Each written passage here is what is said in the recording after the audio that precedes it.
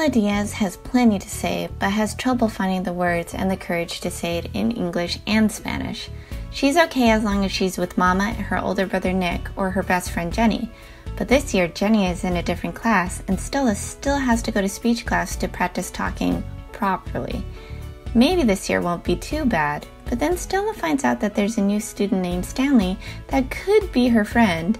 There's a spelling bee where you have to speak in public, and at the end of the year, she will have to give an oral report on marine life. They are all activities that sound fun, but they all require talking. That means getting stomach aches and ending up mispronouncing words that make her face turn rojas. Find out if Stella ever finds her voice and Stella Diaz Has Something to Say by Angela Dominguez.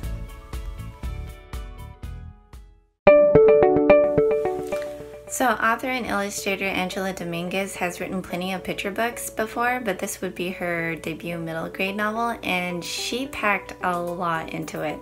As mentioned before in the trailer, there are several events coming up for Stella that require talking, but Stella also has to deal with bullying from a classmate, confusion, and being an alien in the United States. Does that mean she's from outer space? Or more seriously, when she gets citizenship, will she finally stop being an outsider?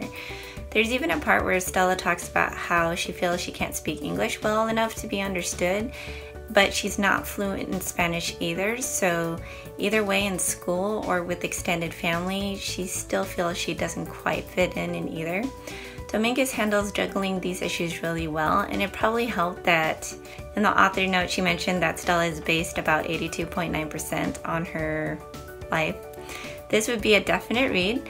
For those who like books like Clementine or Jasmine Toguchi or Lola Levine, any of those fun, uh, highly illustrated chapter books, this would be for you. So grades two to four, I would say.